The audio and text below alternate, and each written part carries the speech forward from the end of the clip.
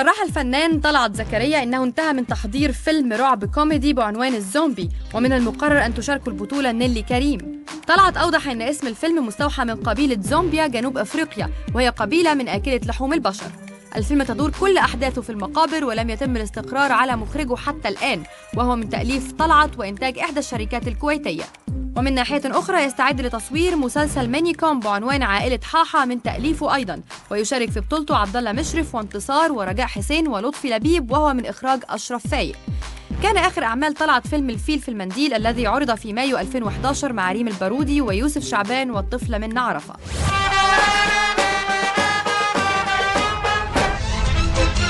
بس خد بالك يا سعيد العملية لازم تتم في سرية تامة. هوبا دخلت على الراجل الكبير في مكتبه راح قايم مفزوع من مطرحه. واقف أنا واقف.